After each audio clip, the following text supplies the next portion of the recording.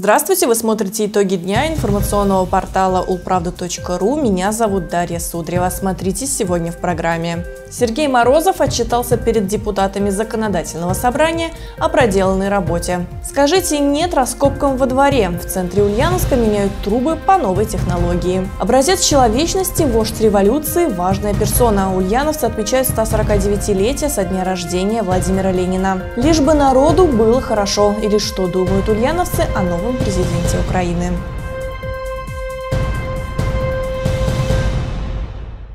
Главной темой понедельника стал отчет главы губернии Сергея Морозова перед депутатами законодательного собрания. Губернатор не только обозначил основные направления развития, но и ответил на вопросы жителей Ульяновской области. Больше всего вопросов поступило по темам здравоохранения, социальной защиты населения, ЖКХ и строительства, транспорта и экологии. О главных темах доклада расскажет Данила Ноздряков. Губернатор Ульяновской области Сергей Морозов выступил с отчетом перед депутатами законодательного собрания. В своем послании глава области подвел итоги прошлого года и обозначил основные направления развития региона в будущем. Выступление губернатора стало заключительным этапом цикла отчетов руководителей исполнительной власти перед парламентариями. Перед отчетом была проведена масштабная работа по сбору предложений от депутатов. Могли задать свои вопросы и жители области. Поэтому неудивительно, что губернатор выступал три часа, в два раза больше, чем отводилось по регламенту. Депутаты дали добро на увеличение времени времени. Тем более, что для многих из них было в новинку слушать отчет губернатора. Большинство парламентариев впервые участвовали в таком прямом диалоге с областным правительством. Сохранение исторической памяти о прошлом, которое нас объединяет, поддержка традиционных ценностей, национально-культурного своеобразия каждого народа, местных сообществ, инициатив и активностей, способствующих развитию личности и территории, все это и дальше будет основным смыслом региональной политики. Губернатор уделил особое внимание региональному секрету успеха. Он напомнил законодателям, что представляла область в начале нулевых. Ежегодное сокращение численности населения более чем на 10 тысяч, и зарплаты значительно ниже соседних регионов. Вдвое сократились по сравнению с советским временем уровень промышленного производства и количество посевных площадей.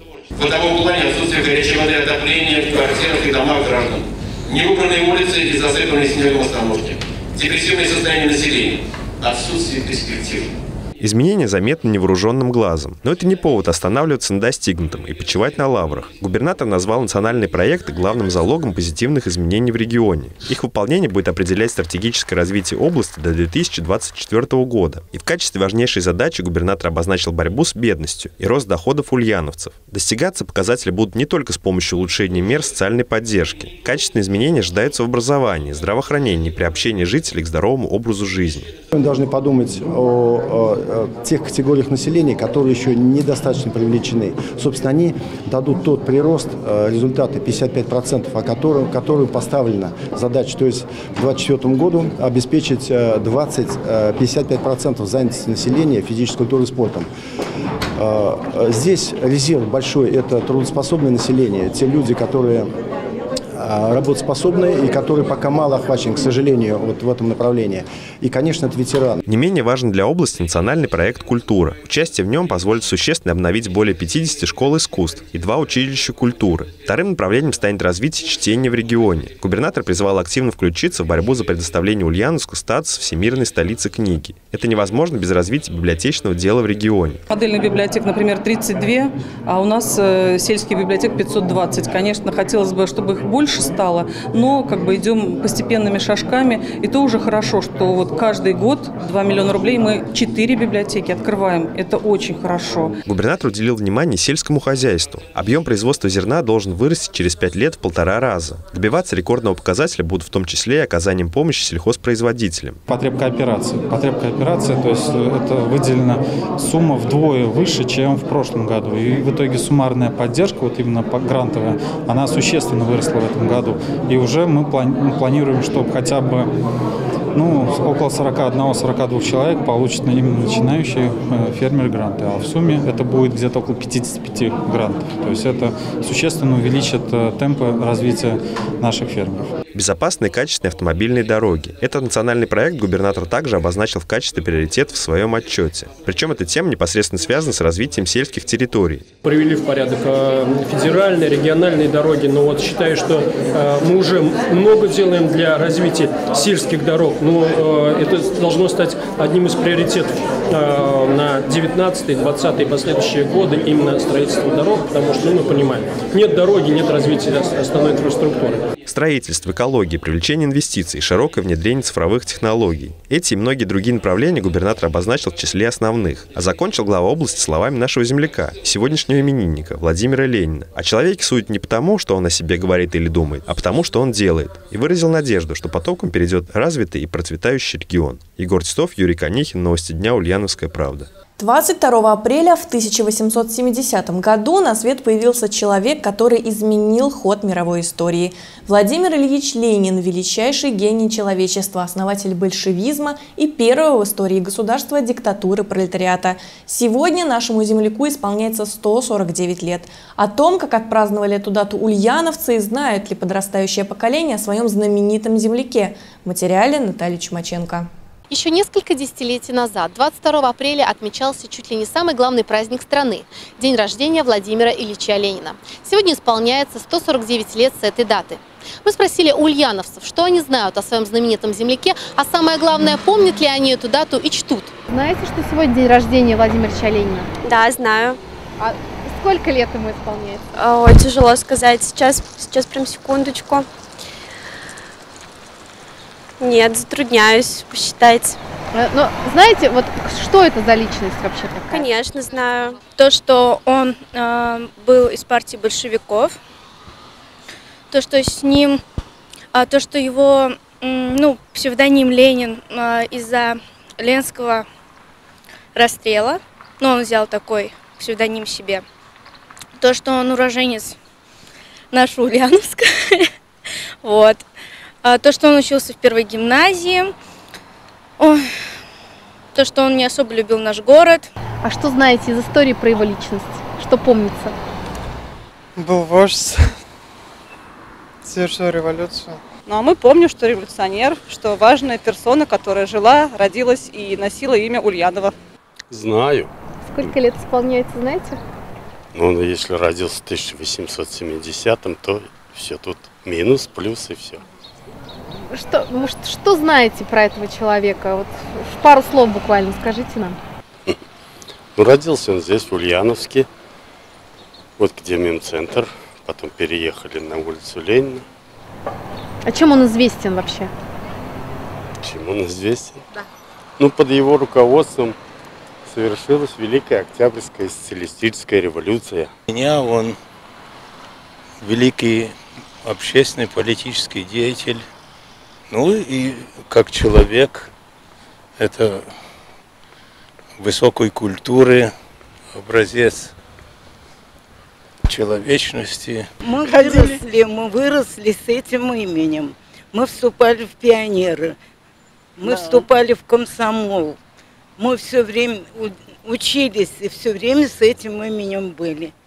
С ним все время венки, цветы возлагали к памятнику Ленина каждый праздник. Сегодняшний день не стал исключением. Утром ульяновцы возложили красные гвоздики к памятнику нашего земляка. В церемонии участвовали депутаты, представители общественных организаций, учителя и воспитанники образовательных учреждений, неравнодушные жители и гости Ульяновска, а также первые лица региона и города. Как мы с легкой руки Сергея Ивановича Морозова э, говорим, что Ульяновск – это родина талантов, и один из великих земляков – это Владимир Ильич Ленин, который всю свою жизнь посвятил э, именно человеку, э, тем, чтобы на сегодняшний день было равенство, братство. И эту политику мы продолжаем и сегодня, независимо от цветов флагов. Безусловно, Владимир Ильич Ленин – фигура значительная и неоднозначная, и относиться к нему можно по-разному, но, безусловно, всегда с уважением. Наталья Чумаченко, Александр Кудряшов. Новости Ульяновской правды.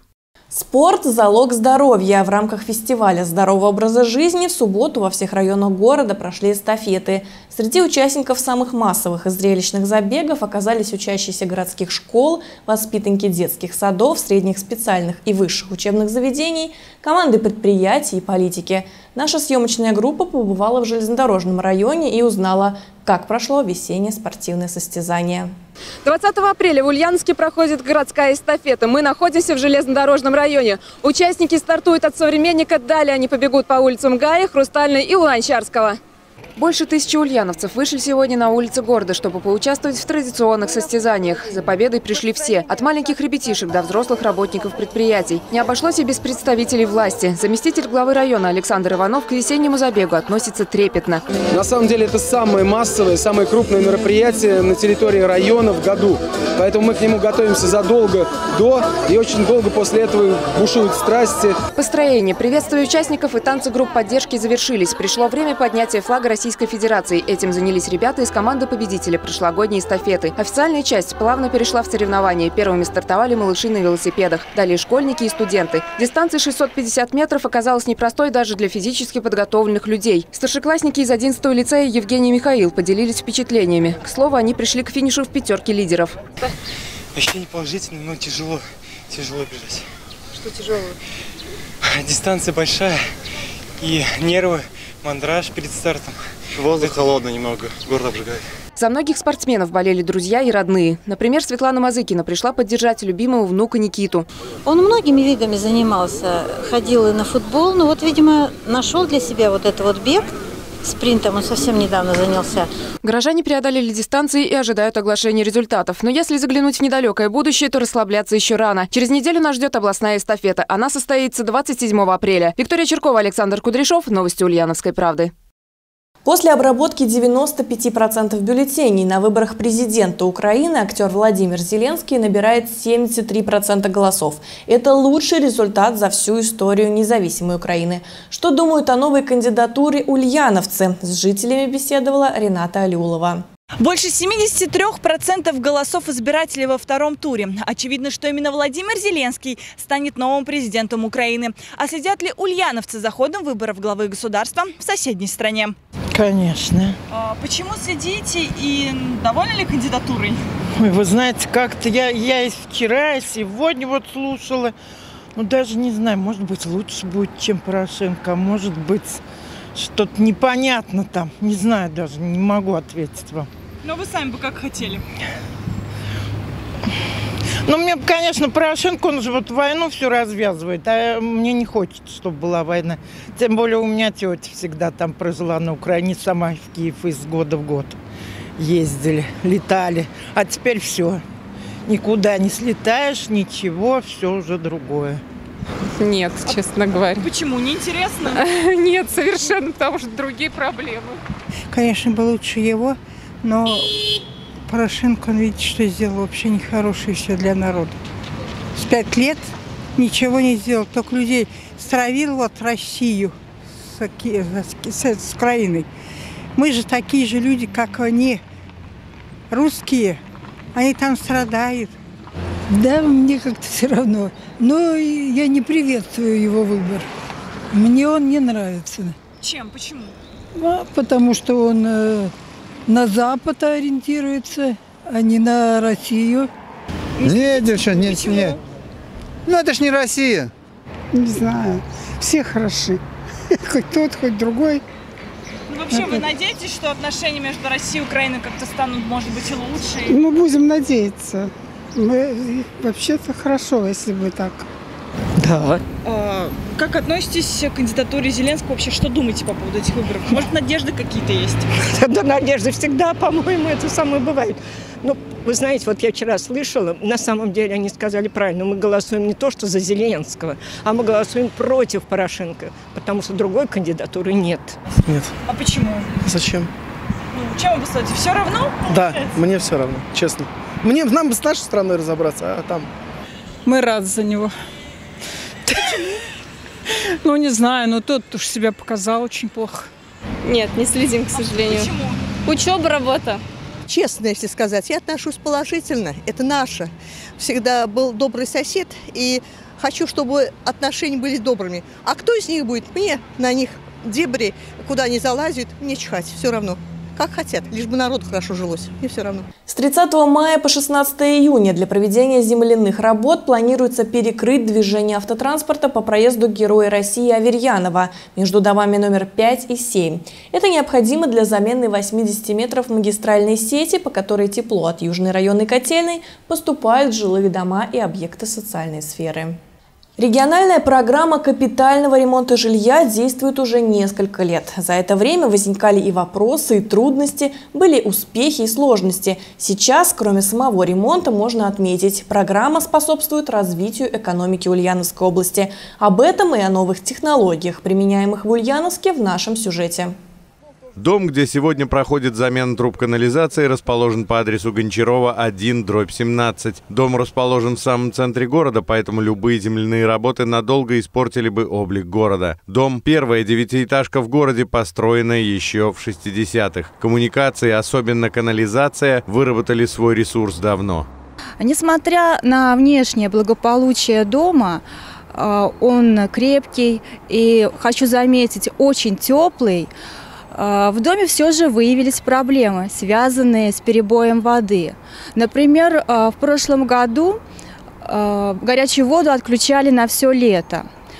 Мы узнали, что все канализации находятся в аварийном состоянии. Жители проявили активность, власть обратила внимание на проблему. Итог – сроки капремонта были перенесены с 2032 года на нынешний. Однако местоположение дома диктует щадящие для ландшафта условия. Благодаря российским разработкам в этой области удалось решить, казалось бы, невыполнимую задачу – поменять канализационные трубы без рытья траншей. Сейчас мы можем, имеем возможность в реальном времени наблюдать замену выпусков систем водоотведением э, способом прокладки методом разрушения старой чугунной трубы и протяжкой. Вместо нее по той же трассе полиэтиленовой трубы. Технология разработана в России, аппаратура, нужная для этого, тоже отечественная. Ее стоимость достаточно высока, тем не менее, она позволяет значительно сократить расходы, как по себестоимости работ, так и по трудозатратности. Кроме того, работы требуют в 4 раза меньше времени. Внедрение новых технологий требует использования новых материалов. Ими регион способен обеспечить себя сам по качеству капитального ремонта и по взаимоотношению с потребителями в первую десятку точно ходим по регионам. Именно по использованию современных технологий. Качество, э, при этом мы используем зачастую, точнее фонд использует, да, и подрядчики используют очень часто э, строительные материалы, произведенные в том числе и в Ульяновской области. У нас благодаря вообще, в принципе, программе капитального ремонта в Ульяновской области более активно стала развиваться промышленность, которая производит эти строительные материалы. Замена труб стала безопаснее. Ваши дети не упадут в дворовый раскоп. Кроме того, не пострадают газоны, асфальт, клумбы. Быстро, чисто и дешево. В Ульяновске уже 30 домов могут похвастаться новым ремонтом. 40% строительных материалов, которыми он выполнен, производится в области. Грязь во дворах уходит в прошлое. Павел Половов, Юрий Ломатов. Новости Ульяновской правды. Во второй раз в своей истории Ульяновск принял чемпионат Приволжского федерального округа по регби среди студентов. Его участники боролись за путевки на финал чемпионата страны. Среди претендентов на путевки были и студенты Ульяновского педуниверситета. Не надо ничего придумывать, играйте просто в пас.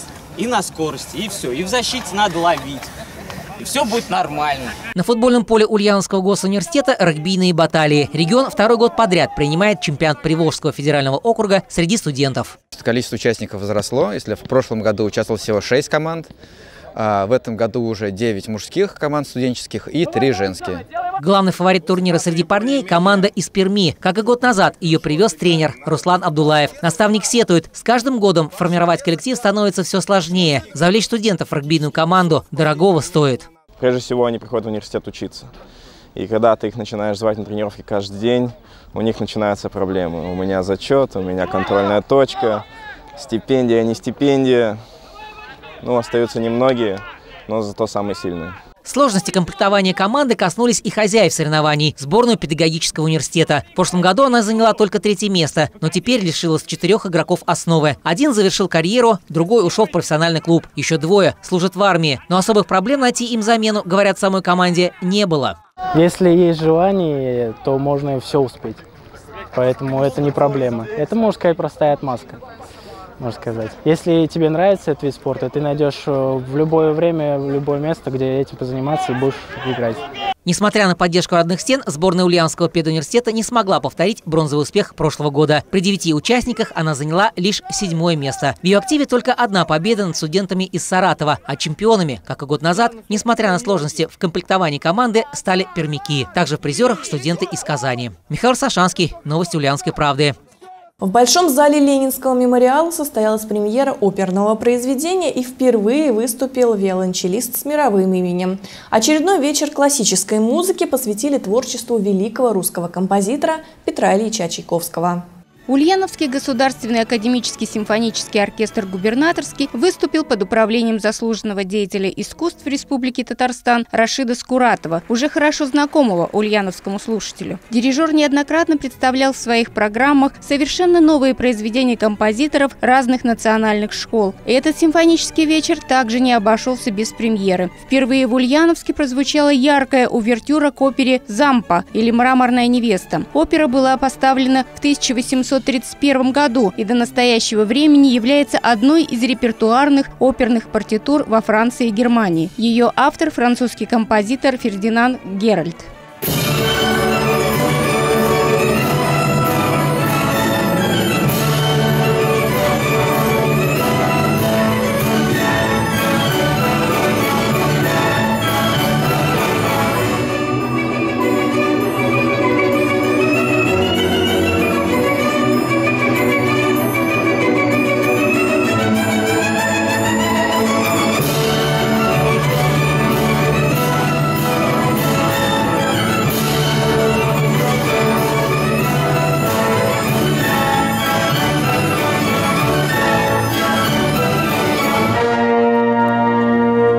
Далее программу продолжили вариации на тему рококо Петра Ильича Чайковского. Это произведение, по сути, является одночасным концертом для виолончели с оркестром. Вместе с оркестром выступил один из самых талантливых и востребованных виолончелистов своего поколения, лауреат 15-го международного конкурса имени Петра Ильича Чайковского Александр Рам. В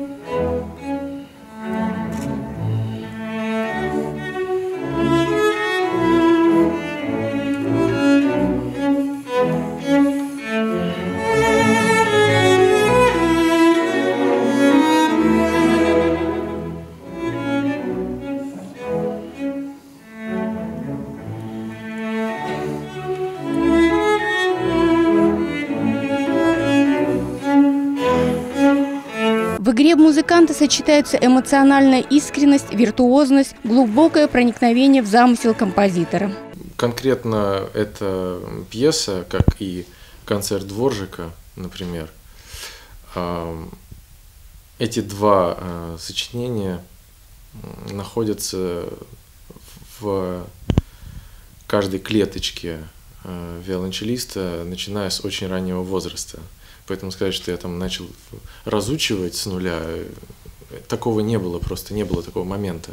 Вторая симфония Чайковского, одно из лучших произведений композитора, завершила вечер. Ирина Антонова, Новости Ульяновской правды. Завтра в Ульяновске ожидается переменная облачность. В некоторых районах области возможен дождь. Температура воздуха днем составит 11 градусов тепла.